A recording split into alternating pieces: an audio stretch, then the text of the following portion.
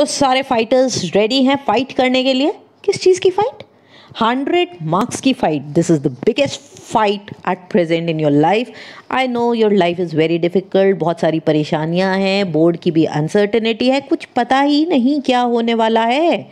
लेकिन फिर भी पढ़ना तो है ही। और पढ़े बिना ना नंबर हैं और ना कोई करियर है। तो होम साइंस में हंड्रेड लाने के लिए हमने यहाँ पे बीड़ा उठाया था और हंड्रेड मार्क्स में आपको दिलवा के ही रहूँगी। बस आप मेरे साथ बने रहो और यहाँ पर हम अभ्यास प्रश्न प्रश्न प्रश्न पत्र तीन करने जा रहे हैं। आपको पता है होम साइंस का पेपर सत्तर नंबर का होता है और तीन घंटे का होता है, जिसमें हमारे पास thirty three thirty six question आते हैं और वन से फोर्टीन ऑब्जेक्टिव टाइप या वस्तुनिष्ठ क्वेश्चंस होते हैं, पंद्रह से इक्कीस केस स्टडी आधारित क्वेश्चंस हैं। तो 21 नंबर का एक एक नंबर का प्रश्न आता है और हम टाइम वेस्ट किए बिना शुरू करते हैं अपने ऑब्जेक्टिव टाइप क्वेश्चन से, जो कि फ़र्स्ट क्वेश्चन है, खाद्य पदार्थ जो किसी विशिष्ट आवश्यकता वाले व्यक्ति के लिए तैयार किए जाते हैं, बीमारी के अनुसार केवल डॉक्टरी नुस्खे पर उपयोग किए जा सकते हैं, उनके नाम बताएँ। अगर डॉक्टरी नुस्खा लिखा हुआ है तो चिकित्सीय खाद्य पदार्थ ही होगा ना? हम बाकी में अपना टाइम क्यों वेस्ट करें? डॉक्टरी नुस्खा है तो हमारा ऑप्शन यहाँ पर है घा और यही है हमारा सही आंसर चलो फ़र्स्ट क्वेश्चन में हर जगह चॉइस थी, यहाँ पर है या नहीं? है, इतना सिंपल क्वेश्चन है, फिर भी चॉइस है आपके पेपर में. खाद्य पदार्थों में प्राप्त ऑक्सीकरण प्रति ऑक्सीकरण व्यक्ति के पोषण में महत्वपूर्ण भूमिका निभाते हैं, उनका नाम बताओ। लोहा, विटामिन बी, विटामिन सी तो नहीं निभाते।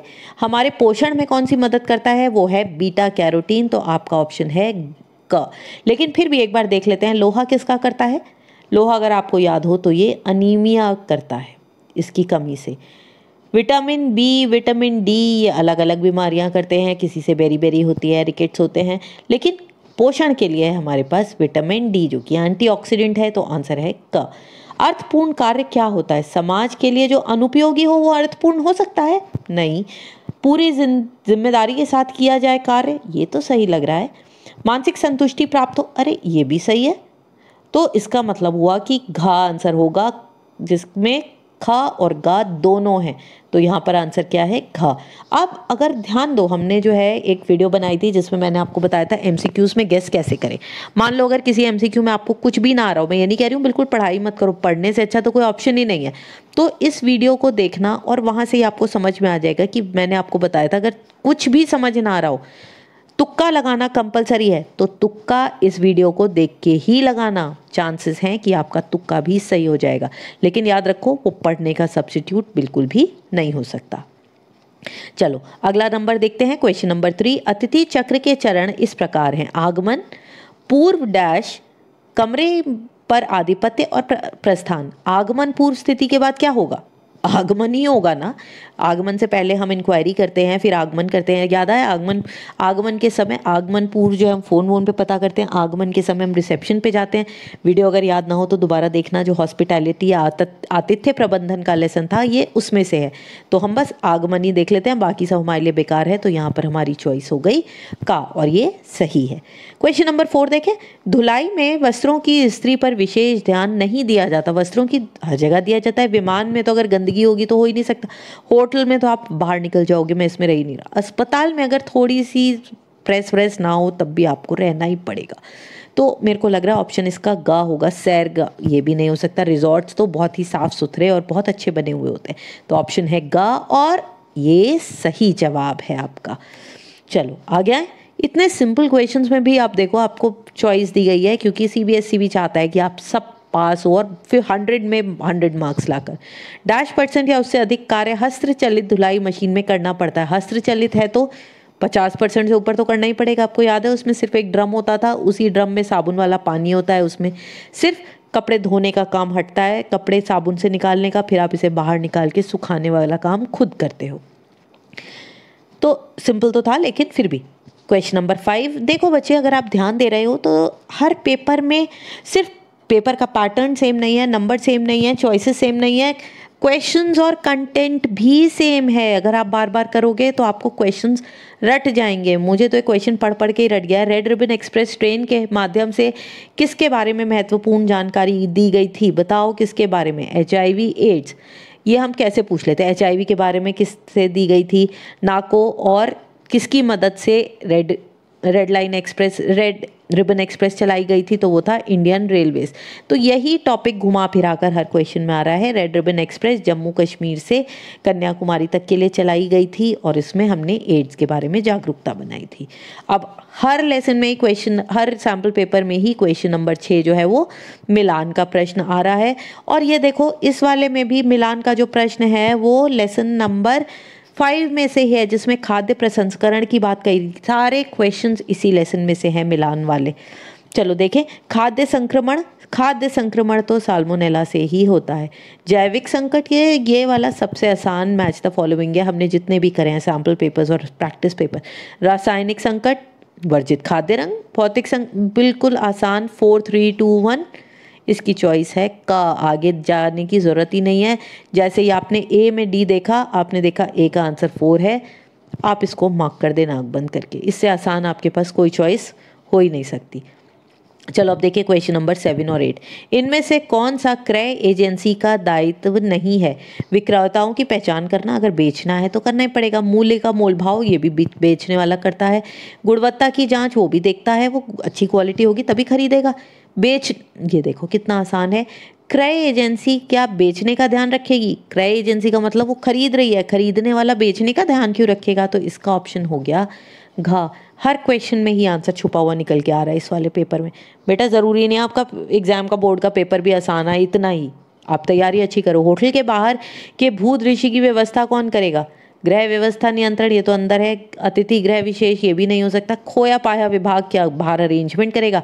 उद्यान तथा पुष्प प्रबंधन टीम यही तो बाहर का लॉन देखेगा एंट्री देखेगा, फूल, गमले। तो उद्यान तथा पुष्प प्रबंधन टीम आपका आंसर है, घ, नहीं भी पढ़ा है बेटा, तब भी सारे क्वेश्चन आपके इतने सिंपल हैं कि हो जाएँगे। तो आठ में से आठ तो आप कर ही चुके हैं, पूरे नंबर आए हैं। अब हम नौवा देखते हैं। यह दस से साठ सेकंड के छोटे छोटे संदेश होते हैं, जिन्हें कार्यक्रमों के बीच में प्रसारित किया जाता है। इनको हम क्या कहते हैं? ये भी बार बार रिपीट हो रहा है। सार्वजनिक सेवा घोषणा, मेरा आप, बाकी ऑप्शंस पढ़ने का मन है, आपको याद हो गया होगा। सार्वजनिक सेवा घोषणा क्या होती है? ये किसमें था? जब हम संचार के माध्यम कर रहे थे, ये रेडियो में था। अलग अलग प्रोग्राम्स के बीच में जो एक छोटा सा मैसेज आता है, उसे हम कहते हैं सार्वजनिक सेवा घोषणा। और इतने सिंपल में भी देखो चॉइस है कि सेवा भारत में डैश में कार्यरत लाखों निर्धन महिलाओं का संगठन है। निर्धन महिलाओं का संगठन है औपचारिक क्षेत्र में, कारोबारी क्षेत्र में, अनौपचारिक या संचार। सबसे ज़्यादा जो महिलाएँ हैं, जो सबसे ज़्यादा प्रताड़ित और पीड़ित हो सकती हैं, वो होती हैं अनौपचारिक क्षेत्र में। तो आंसर इसका है अनौपचारिक क्षेत्र की जो निर्धन महिलाएँ हैं, उनके लिए सेवा का जो स्कीम चली थी, ये उनके लिए थी। चलो, अब क्वेश्चन नंबर टेन देखते हैं क्या है। डैश का उपयोग कार्यस्थल पर उत्पादकता बढ़ाने के लिए किया जाता है। सुकार्य की ये है लेसन नंबर वन जो था कार्य वाला वर्क वाला हाँ? उसमें सुकार्य की, जिसमें हम देखते हैं कार्य की उत्पादकता कैसे बढ़ाई जा सकती है तो इसका ऑप्शन होगा का। हर पेपर में question number eleven picture based question रहा है। तो यहाँ पर आपको जो पिक्चर मिली है, ये बहुत ही सिंपल है। ये तो कठपुतली वाला है ना काम? आपने भी कठपुतली का नाच देखा होगा। देखा है? तो ये जो है कठपुतली शिल्प है। वो कहाँ पर होता है कठपुतली शिल्प? कठपुतली शिल्प होता है राजस्थान का। और हर में हमें इसमें चॉइस भी मिली थी। आपको यहाँ पे तो चॉइस की ज़रूरत ही नहीं है, इतना आसान है, फिर भी देखते हैं चॉइस मिली है कि नहीं। यस चॉइस यहाँ भी मिली हुई है आपको। और देखो चॉइस क्या है? कला की तकनीक को पहचाने और जिस राज का ये प्रसिद्ध है, उसका नाम बताएँ, ये भी आप सभी को पता है। इसके कपड़े बहुत फ़ेमस हैं, सब पहनते हैं और ये है राजस्थान या गुजरात का आप दोनों में से कुछ भी दे सकते हो। और ये है बंधेज, ओके? फिर हम आते हैं क्वेश्चन नंबर ट्वेल्व पर। हॉल मार्क का चिन्ह बनाए। बच्चे, ये भी देखो, हर में आपको कोई ना कोई एक मानकीकरण चिन्ह बनाने को आ रहा है, चाहे वो एफ़ एस एस आई हो I S F F F P O का हो, कोई सा भी निशान हो आपको बनाने को आ रहा है तो इनको एक बार ज़रूर प्रैक्टिस कर लेना। हॉल मार्क का भी आपने देखा था, उसको ऐसे भी पूछा जा सकता है कि सोने और चांदी के आभूषणों पर जो मिलता है, वो कौन सा आभूषण वो कौन सा हॉल मार्क चिन्ह होता है, वो कौन सा चिन्ह होता है, उसको बनाओ। तो इस तरह से भी अगर आप बनाओगे, बहुत ही गंदा मैंने बनाया, मुझे पता है। लेकिन अगर आप इस तरह से भी बना रहे हो तो भी आपको नंबर पूरे मिलेंगे। आपको बस सिंबल पहचानना आना चाहिए। ठीक है ना? अगर आपने ऐसा भी बनाया है तो ये है आपका बी आई एस और हॉलमार्क का। विकास संचार की दो प्रमुख विशेषताएँ बचाएँ विकास और संचार। विकास है तो ये किन के लिए होगा?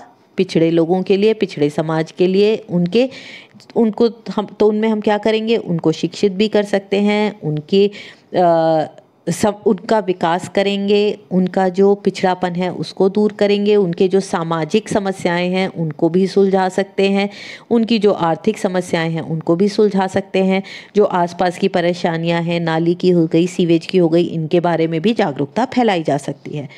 उसके बाद अगला क्वेश्चन क्या है? आपको इनमें से कोई भी दो लिखना है, हर एक आधे आधे नंबर का होता है, ठीक है?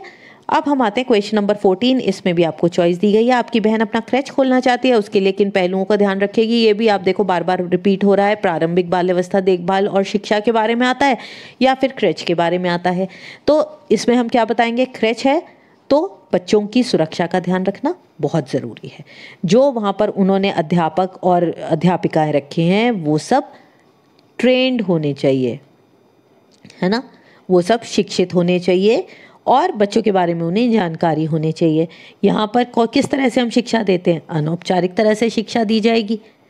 उसके बाद बच्चों के खेलने की व्यवस्था होनी चाहिए, बच्चों के आराम की व्यवस्था होनी चाहिए, उनके खाने पीने की व्यवस्था होनी चाहिए, सफ़ाई की व्यवस्था होनी चाहिए।